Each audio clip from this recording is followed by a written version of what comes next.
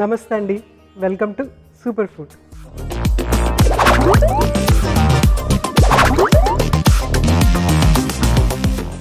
ముందుగా ETV Abhiruchi super food ప్రేక్షకులందరికీ ఎంగిలి పువ్వు బతుకమ్మ శుభాకాంక్షలు.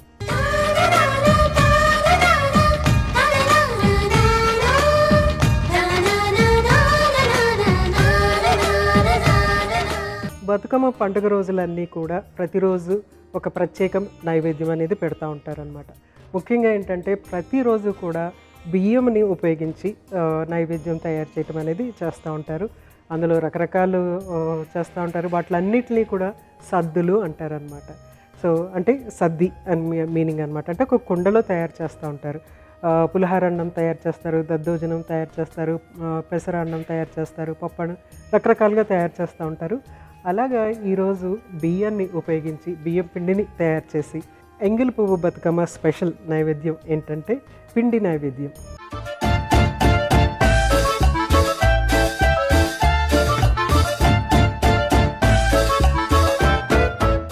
పిండి నైవేద్యానికి కావాల్సిన పదార్థాలు ఒకసారి చూసేద్దాం. బియ్యం పంచదార నెయ్యి చాలా సింపుల్ ఇంగ్రీడియంట్స్. మనకు కావాల్సిన ఈ మూడే మూడు ఇంగ్రీడియంట్స్. చాలా సింపుల్గా తయారైపోతుంది. కాదంటే ఇది కొంచెము పేషెంట్గా చేయాలంటే దాన్ని చక్కగా మిక్సింగ్ అనేది ఇక్కడ ఎంత చక్కగా మిక్స్ చేస్తే అంత చక్కగా అంత రుచిగా ఉంటుంది అనమాట ఇది. సో ఫస్ట్ ఏం చేయాలంటే మనము పిండిని తయారు చేసుకోవాలన్నమాట. పిండి తయారు చేసుకోవాలంటే బియ్యంని మనం చక్కగా వేయించేసుకోవాలి. So first stove వెలిగించేసుకుంటున్నాను.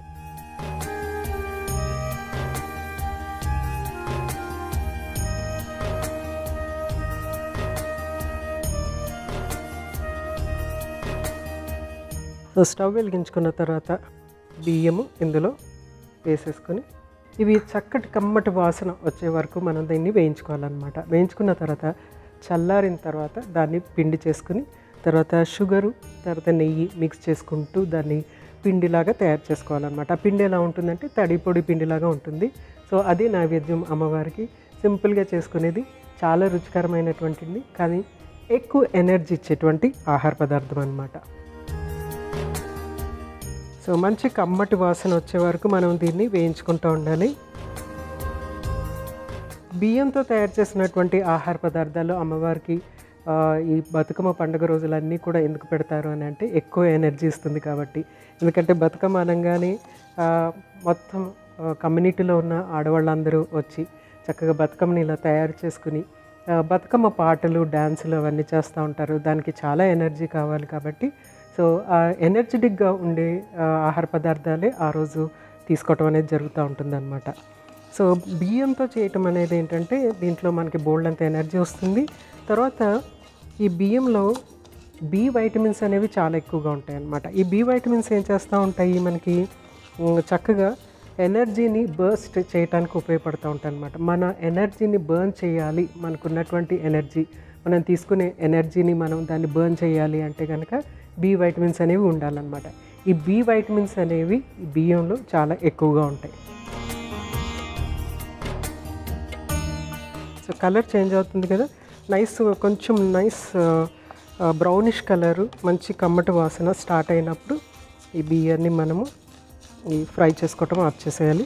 అప్పటి వరకు ఇలా తిప్పుతూనే మనము ఫ్రై చేసుకోవాలి. ఎందుకంటే ఒకే దిక్కన ఉండిపోయింది అనుకోండి కిందంతా మాడిపోతుంది పైనేమో అలాగే ఉంటుంది అనమాట సో మొత్తము చక్కగా హీట్ తగిలేటట్టు మొత్తం అంతా కూడా చక్కగా కలర్ చేంజ్ అయ్యేటట్టు మనం దీన్ని తిప్పుతూ వేయించుకోవాలి. సో చూడండి బియ్యం చక్కగా చాకీ వైట్ కలర్ నుంచి లైట్ గోల్డెనిష్గా తయారవుతుంది.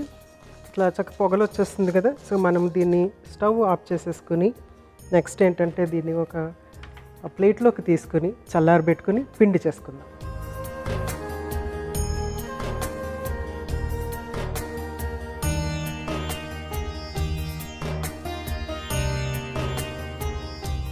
సో ఇది చల్లారిన తర్వాత పిండి రెడీ చేసుకుని నెక్స్ట్ ప్రాసెస్లోకి వెళ్ళిపోతాం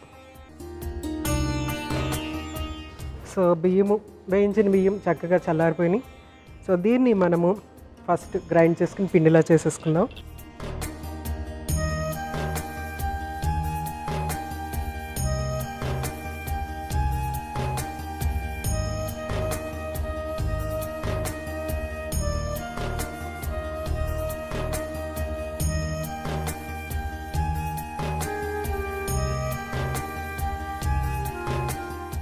సో ఫైన్ పిండిలాగా అయిపోయింది. సో ఇలాగా చక్కగా పిండిలా తయారు చేసేసుకోవాలి. మంచి కమ్మటి వాసన వస్తుంది. ఎందుకంటే మనం దీన్ని చక్కగా వేయించుకున్నాం కాబట్టి కమ్మటి వాసన వస్తుంది. నెక్స్ట్ ఏంటంటే కరెక్ట్గా మనం ఎంత పిండి వేసుకున్నామో ఆల్మోస్ట్ దానికి సగం షుగరు యాడ్ చేసుకోవాలన్నమాట.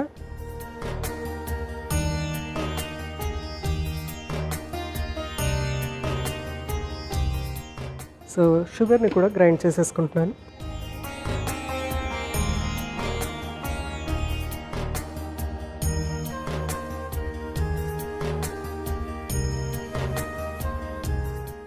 కూడా ఒక ప్లేట్లో తీసేసుకుందాం.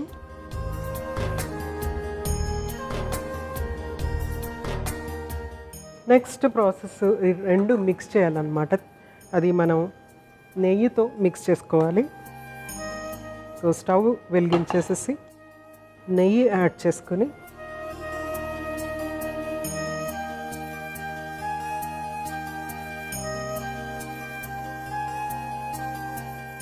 కొద్ది కొద్దిగా పిండి కొంచెం పిండి కొంచెం షుగరు కొంచెం పిండి కొంచెం షుగర్ అలా మిక్స్ చేసుకుంటూ వెళ్ళాలన్నమాట. సో మనము మిక్సింగ్ అనేది చేయటానికి కొంచెం లో ఫ్లేమ్లో పెట్టుకుని మిక్స్ చేసుకోవాలి. ఎందుకంటే హై ఫ్లేమ్లో ఉంటే కనుక మాడిపోతుంది మాడు వాసన వస్తుంది అనమాట ఆ పిండి ఫ్లేవర్ అంతా పోయి మాడు వాసన వస్తుంది. సో ఫస్ట్ నేను కొంచెం సగం పిండి ఇక్కడ యాడ్ చేస్తున్నాను. నెక్స్ట్ కొంచెము షుగర్ యాడ్ చేస్తున్నాను.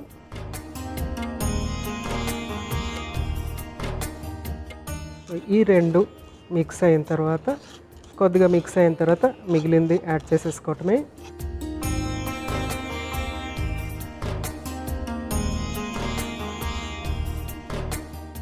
అలాగే ఇంకొంచెం షుగర్ కూడా యాడ్ చేస్తున్నాను.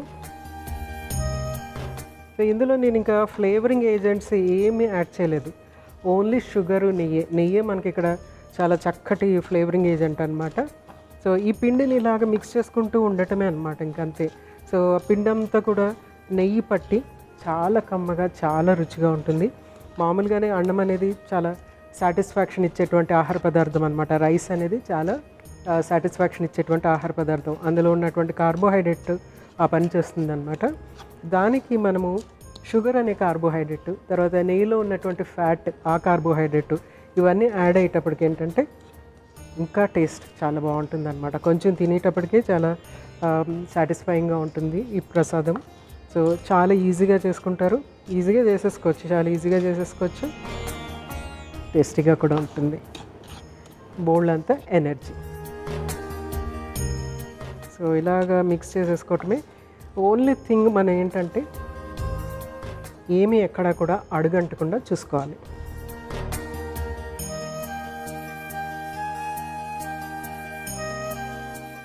సో చక్కగా మిక్స్ చేసేసుకున్నాము. నెయ్యి వాసన చాలా అమోఘంగా వస్తుంది. షుగరు నెయ్యి పిండి కలిసి ఆ వాసన వస్తుంది. సో స్టవ్ ఆఫ్ చేసేసుకొని మనం ఇంకా దీన్ని సర్వ్ చేసేసుకోవటమే.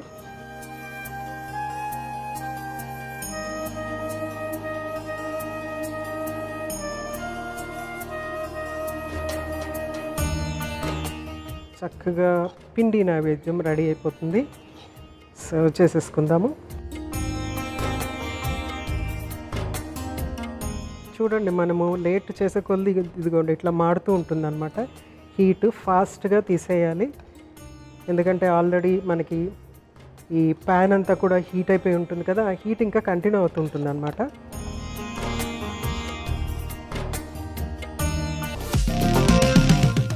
బతుకమ్మ స్పెషల్ పిండి నైవేద్యం రెడీ అయిపోయింది. మీ అందరికీ మరొకసారి బతుకమ్మ శుభాకాంక్షలు.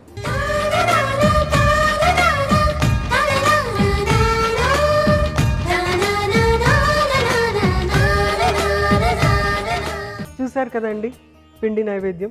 చాలా సింపుల్ ఇంగ్రీడియంట్స్ చాలా సింపుల్గా కూడా చేసేసుకోవచ్చు. కానీ టేస్ట్ మాత్రం అదిరిపోతుంది. ఎందుకంటే అది బియ్యం పిండి నెయ్యి పంచదార కాబట్టి అన్నీ కూడా మూడు కూడా మధుర పదార్థాలు. సో తప్పనిసరిగా ఈ బతుకమ్మ పండుగ రోజున మీరు ట్రై చేసేయండి. రేపు ఇంకొక చక్కటి సూపర్ రెసిపీతో మీ ముందుంటాను. అంతవరకు మీ జానికి నమస్తే.